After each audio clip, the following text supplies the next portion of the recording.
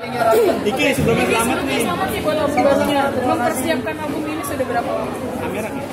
Mempersiapkan album ini sebenarnya dari tahun kemarin 2018 akhir tahun sebelum mau menuju ke November. Dari November itu adalah lima bulan ke belakang saya memproses eh, diskusi sama manajemen sampai akhirnya wah thank you sampai sampai akhirnya di November rilis.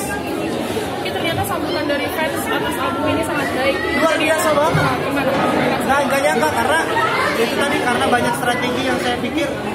Saya bertolak belakang sama formula-formula orang-orang yang biasa bikin dalam artian biasa bikin album ada lagu-lagu sebelumnya ini nggak ada.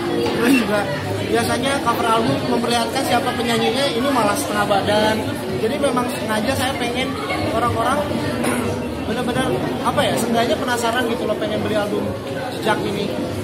Dan terbukti ketika rilis di tanggal 23 November untuk lagu menari sudah pertama 30 November album.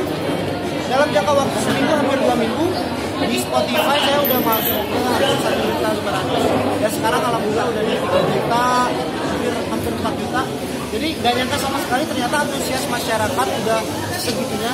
Dan itu baru di Spotify kan makanya dan kita belum cek kita belum cek di iTunes berapa YouTube kita juga belum lihat berapa jadi kalau menurut saya spekulasi ternyata alhamdulillah masyarakat di luar sana selain di Stellar fanbase ternyata masih banyak orang-orang yang bisa mengapresiasi karya itu Ki ngeliat antusias.